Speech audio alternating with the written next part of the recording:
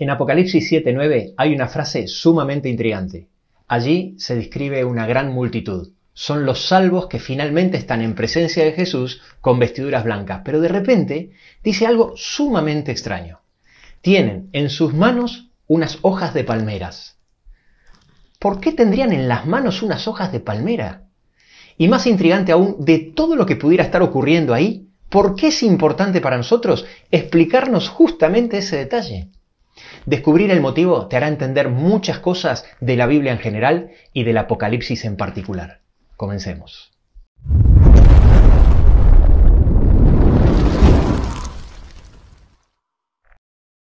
Acompáñame al siglo XV a.C. Cuando Dios libera al pueblo de Israel de la esclavitud de Egipto a través de Moisés, primero los lleva al desierto, luego frente al monte Sinaí les entrega las tablas de la ley y entonces le da instrucciones precisas de cómo construir un santuario. A partir del capítulo 25 del libro de Éxodo le dedica 15 capítulos, casi la mitad del libro, para explicar de forma minuciosa de cómo debería ser el santuario o tabernáculo, cómo debían ser sus muebles, los materiales, las fiestas, las vestiduras de los sacerdotes, etc. Era un tabernáculo portátil con sus límites muy bien marcados, dentro del cual estaba delimitado el atrio exterior y dentro de ese terreno había una tienda, el santuario propiamente dicho que constaba de dos partes, el lugar santo y el lugar santísimo. Y en el lugar santísimo se encontraba el arca, en cuyo interior estaban las dos tablas de la ley. Era un aula, era una maqueta didáctica donde cada día aprendían sobre la obra que Jesús iba a realizar para salvar el mundo. Todo tenía un significado en el santuario. Los muebles, los materiales utilizados, cada fiesta que marcaba el ritmo de las celebraciones y rituales, las tareas y los sacrificios diarios que se realizaban, nada era por casualidad. Dentro del santuario habría, había siete muebles de diferentes materiales con una simbología muy amplia y precisa que representaban enseñanzas muy importantes sobre el plan de salvación. En el atrio exterior estaba el altar del sacrificio, que estaba hecho de madera de acacia revestido en bronce, y el lavacro, que era todo de bronce. Luego en el lugar santo estaba el candelabro de oro, era de oro puro, la mesa del pan de la proposición, que era de, madera de acacia revestida en oro, y el altar del incienso, que también era de madera de acacia revestido en oro. En el lugar santísimo estaba el arca, el arca del pacto, que también era de madera de acacia revestida en oro, y por último estaba la tapa del arca con dos querubines labrada en una sola pieza de oro puro llamada el propiciatorio y toda la liturgia que giraba alrededor del santuario estaba marcada por siete fiestas anuales. En primer lugar, la primera era la Pascua. Después venía la fiesta del pan sin levadura, la fiesta de las cosechas, o primicias, la fiesta de la semana o Pentecostés. Después venía la fiesta de las trompetas, el día de la expiación o el día del perdón, y por último la fiesta de las cabañas o, o la de los tabernáculos. A partir de ese momento, el santuario se transforma en el centro de la religión de Israel. Durante casi cinco siglos fue una tienda portátil hasta que en el siglo X a.C. el rey Salomón construye el primer templo, el famoso templo de Salomón, que no sé si sabías, pero no es otra cosa que el santuario de Moisés ampliado, más grande, pero con exactamente las mismas proporciones que el santuario de Moisés, los mismos muebles, los mismos servicios, fiestas de celebración, etc. En el siglo VI a.C., el templo de Salomón es destruido por una invasión babilónica y 70 años después es reconstruido tal como lo profetizó el profeta Jeremías dos veces y que también lo menciona el profeta Daniel. Aquí en pantalla te dejo los versículos. Fue conocido como el segundo templo y obviamente siempre guardando las mismas proporciones de medidas que Dios le había dictado en el desierto a Moisés y por supuesto con los mismos muebles, fiestas, servicios, etc. Este último templo fue destruido en el año 70 después de Cristo por los romanos. Así que el santuario fue el lugar de culto del pueblo de Israel donde Dios le enseñó durante nada más ni nada menos que aproximadamente 1500 años el plan de salvación a través de símbolos. Te estarás preguntando qué tendrá que ver todo esto con las hojas de palmera que leímos al principio en Apocalipsis 7.9. Allí vamos. Por un lado, los judíos, al no reconocer a Cristo como el Cordero de Dios, siguieron con los rituales y sacrificios. Cuando Cristo muere, Dios muestra de muchas maneras que el servicio del santuario que estaba en Jerusalén y todos los rituales de sacrificio que apuntaban a Cristo debían dejar de funcionar porque Cristo ya había sido crucificado. Vamos a mencionar algunas de ellas. En primer lugar, en Mateo capítulo 21, versículo 13, cuando él entra al templo, lo llama mi casa, pero luego, ya finalizando la semana cerca de la crucifixión, cuando se va en Mateo 23, 28 para ya no volver, la llama vuestra casa. En segundo lugar, en ese mismo versículo dice, vuestra casa os es dejado desierta, haciendo referencia a que la presencia de Dios ya no estaría allí. Y luego en Mateo 27, 51, dice que el velo del templo se rasgó en dos, de arriba hacia abajo, por una mano invisible, cancelando Dios mismo la continuidad de los servicios. Y principalmente Jesús se lo deja muy en claro a sus discípulos, los cuales lo explican muchas veces y de muchas maneras, como por ejemplo cuando Pablo dice en Hebreos 7:27 Jesús murió una vez y para siempre ofreciéndose a sí mismo. Por consiguiente, el cristianismo dejó de practicar los servicios. Ahora, presta atención a lo que te voy a decir, porque aquí viene el dato que lo cambia todo.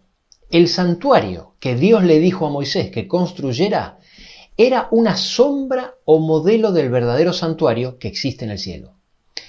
En Éxodo 25:40 Dios le dice a Moisés que lo construya conforme al modelo que se le mostró en el monte. Y el apóstol Pablo, explicando precisamente este versículo en Hebreo 8.5, explica que ese santuario de Moisés es figura y sombra de las cosas celestiales. De esta manera, todo lo que construyó Moisés era una representación del verdadero santuario, explicando como una gran maqueta didáctica llena de simbolismo todos los detalles del plan de salvación que realizaría Cristo en todas sus etapas el rescate más grande, impresionante, complicado y costoso de todo el universo. Pero acá viene lo importante. Es verdad que el santuario terrenal dejó de funcionar, pero cuando Jesús muere y asciende al cielo, Él empieza a ministrar como sumo sacerdote en el santuario celestial, el verdadero santuario del cual el terrenal de Moisés era una figura o sombra. ¿Estás escéptico? Sigue mirando este video y verás cómo todo tiene sentido. La Biblia está llena de referencias que hablan que Jesús ascendió al cielo a realizar una obra como sumo sacerdote, sacerdote ministrando por sus hijos en un santuario celestial. En el libro de Hebreos, capítulo 6, del 18 a 20, claramente nos dice que Jesús entró dentro del velo como sumo sacerdote. Y en Hebreo 9:11 dice que lo hizo en un tabernáculo hecho más perfecto, no hecho por manos. Lejos de olvidarse del santuario como algo del pasado en el Nuevo Testamento, se sigue mencionando al santuario y Apocalipsis no es una excepción. Tan pronto inicia el libro de Apocalipsis, que en griego significa revelación, en sus primeras cuatro palabras Juan dice la revelación de Jesucristo. Y en el primer capítulo se lo muestra a Jesús caminando en el lugar santo, entre los candelabros del templo celestial. Son muchas las menciones directas e indirectas que se hace del santuario en, el Apocalipsis. En Apocalipsis 8, versículos 3 y 4, por ejemplo, hay una escena frente al altar del incienso. Y en Apocalipsis 11, 19, se menciona el arca del pacto.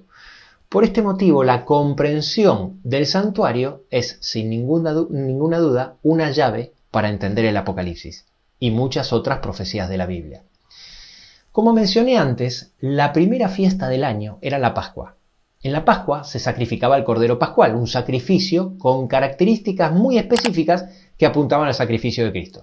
Ese cordero debía ser macho, de un año, sin defecto, y Dios había dado instrucciones precisas de dónde y cuándo debía realizarse el sacrificio. Se realizaba en el primer mueble, el altar del sacrificio que estaba en el atrio exterior, que simbolizaba la tierra, por la tarde antes de la puesta del sol del 14 de Nisan.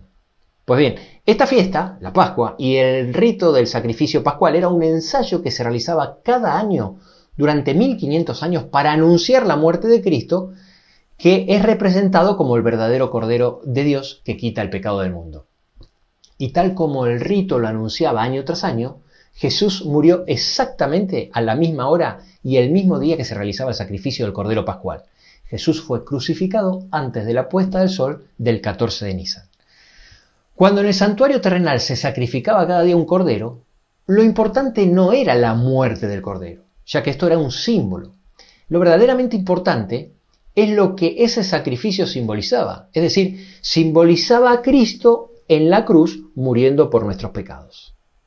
De la misma manera, cuando vemos en el santuario terrenal al sumo sacerdote entrando en el lugar santo y realizando actividades relacionadas con el candelabro de oro, esto no era lo realmente importante, sino lo que simbolizaba, es decir, la función de Cristo en su plan de salvación relacionada con esa escena. Por ejemplo, como la que vemos en Apocalipsis 1.13, donde nos muestra a Cristo en el lugar santo, que es donde estaba el candelero de oro.